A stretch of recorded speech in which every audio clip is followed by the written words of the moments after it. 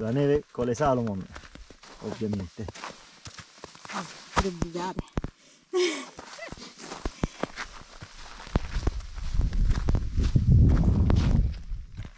Ecco serie.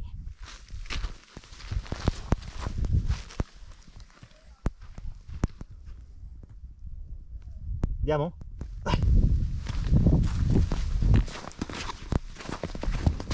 Ecco il pratone con la neve. Spettacolare.